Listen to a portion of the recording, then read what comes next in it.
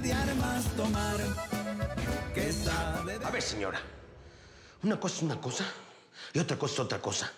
Lo que dijo me sonó amenaza. Y para serle honesto, a mí me valen tres camiones de posta lo que usted me diga o lo que piense. Puede ir a la policía si quiere o ver al mismo copetón si quiere. Pero ustedes me prometieron que me iban a dar. Ya no le prometí nada. ¿Eh? Y usted mejor calladita. Porque la señora Berta está pagando muy caro el trato que le está haciendo para devolverle a su hijo. Yo le voy a traer a la señora Berta para que le cumpla. Pero no me haga que yo mismo le eche patadas de mi casa. Con permiso. ¿A dónde diablos llevas esa comida? Déjame en paz, mujer, ¿eh? Tengo mandados que hacer. ¿Y usted, señora? Le repito, deje de chingar.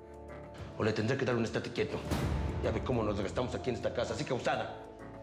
Porque guerra avisada no toma por sorpresa a Naiden. Amaro, son muchos años juntos, Amaro. Te conozco, conozco tus mañas como la palma de mi mano. Esa comida es para llevársela a la perra de Berta, ¿sí o no? Ya cállate, Rosa, ¿eh?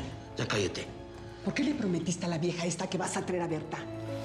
No se te ocurra cometer una idiotez liberando a la vieja y trayéndola para acá, Amaro. El patrón nos mata si se entera. Yo hago lo que ¡No me ¿Eh?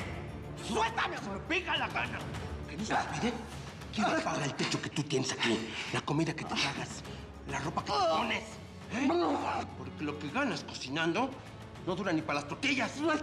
Así que deja de fregar y no te metes en lo que no te importa. ¡Suéltame!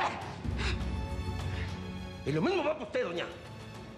Los invitados en mi casa hacen lo que yo les digo. No se le olvide que hay dos aguas. A veces eres cuchillo y otras veces eres herida es hembra de armas tomar, que sabe